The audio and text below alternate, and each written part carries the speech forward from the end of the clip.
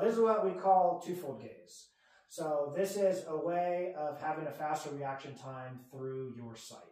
If you use your central vision, you have a faster reaction time than using your peripherals. It's like you when you use your peripheral and you're a trained fighter, it's like 80 milliseconds. When you're an untrained fighter using your central vision, it's like 260 to like 300 milliseconds, something. It's like way higher. Okay. Um, once you get trained, it still gets lower. I think it gets down to like 160 or 120. But so what we're going to do in order to be able to use our peripheral vision, which is what I prefer, is the first thing that I do is I put my hand in front of my face. So you're going to put your hand in front of your face. You're going to look at your hand.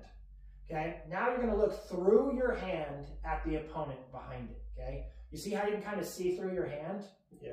Okay. Now you're going to bring your hand down. You're going to keep that gaze. Now I'm going to look at the wall behind you and look through you, just like how I did with the hand. Okay.